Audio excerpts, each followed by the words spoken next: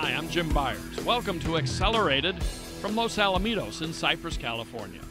This will be the center of quarter horse racing for the next month or so, starting with the Grade 1 Million Dollar Super Derby on November 10th. That's our focus on this edition. And it's one of the most anticipated derbies in recent memory. Going in, it certainly looks like a battle between 2018 champion two year old Flash and Roll and the streaking powerful favorite.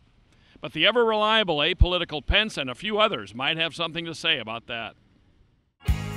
The Monte Rosa trained Apollitical Pence has frequently knocked heads competitively with the top two. Winner of this spring's Heritage Place Derby at Remington Park, Apollitical Pence has spent the bulk of his career with the Rosa at Los Al, where just this year he's logged three wins and three seconds in six starts. Jesus Ayala rides at 6 to 1. Powerful favorite could give trainer Chris Odell a win in a million dollar race for the second week in a row. Powerful favorite's full brother, Run for Your Life, took home the Golden State Million Futurity at Los Al. As for powerful favorite, he's 7 for 7 this season, including wins in the Los Alamitos Winter Derby, El Primero del Año Derby, and Governor's Cup. Winner of his October 19th trial in the third fastest time, Powerful Favorite is again ridden by Eduardo Nicasio and is the even money public choice. Flash and Roll parlayed wins in last year's Golden State and Los Al 2 Million Futurities into the AQHA two year old championship.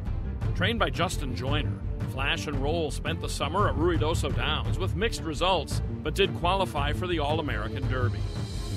Back home at Los Al, where she's never lost in five tries. She drew off to a massive trial win with the fastest time. In the Super Derby, Cody Jensen is aboard at 3 to 2.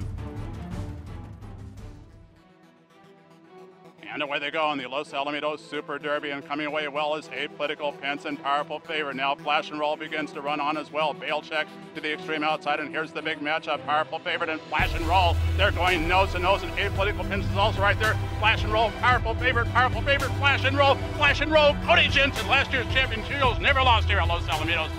What a matchup as Flash and Roll toward the inside and Powerful Favorite duel for most of the 400 yards after edging past the quick breaking Apollitical Pence. At the wire, Flash and Roll, with just moderate left handed encouragement from Cody Jensen, prevails by a neck and gains a spot in the Champion of Champions. Jensen describes the race from his perch. Well, I got away extremely well. I mean, I thought I'd have the good jump on everybody, and when we hit the ground the first time, he was right next to me, and then the dogfight was on, and it was a battle from the first jump to the last jump. It's the type of horse races you want to be in. Even if you come out on the right end or the wrong end, it's just the type two great horses that hook up right from the first jump to the last jump. Those are exciting ones. Last year, this filly provided G.R. Carter with a win in his last ride.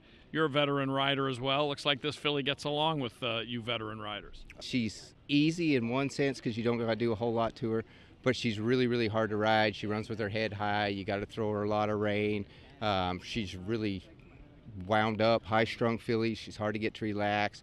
She really enjoys her job in the mornings and on race day. So, you know, maybe, maybe me and G.R. with a little bit more experience, maybe we've learned how to just get along with a temperamental filly like that. But she's, once the gates open, she's awesome because you don't have got to do a whole lot but point her in the right direction. A California bred daughter of First Moon Flash from the Grade 1 winner Stylish Jess BR. Flash and Roll was bred by Juliana Hahn Holt and is owned by Scott Bryant. Trainer Justin Joyner said if all goes well with his champion filly, he has no hesitation about taking on veterans in the Champion of Champions. Oh, I'm, I'm sure we'll compete. I mean, she's she's a very competitive filly out here. Um, I mean, you just look at her times versus their times, so I, I think we've got a shot to to compete. At distance doesn't bother her, so I think you know 440 yards is going to be just fine also. And uh, you know, I'm not I'm not scared of those older horses. They do have a little seasoning, but for a filly like her who kind of does everything right anyways, I don't have to worry about, you know, really, well, I hope she gets out of the gates. I hope this happens. I hope that happens. So I think if we can go run against them and, you know, we'll just see how it pans out. She's met all the challenges basically so far. I guess that would be, you know, one more challenge to meet is to take on some of those uh, older horses. Well, absolutely. I think she's earned the right to, to try, you know, and then, uh, yeah, we'll see after that. She probably earned a break, and uh, you know, she's as sound as they come, so she makes my job pretty easy, really. Bryant spent $200,000 on Flash and Roll at the Ruidoso Select Yearling Sale in 2017. With six Los Alamitos victories, three of them in races featuring seven figure purses, it turns out to be a great purchase. Now, with 10 wins and 13 tries, and on course to take on BH Lisa's boy and others in the December 14th Champion of Champions, Flash and Roll completes the 400 yards in 19.516 seconds.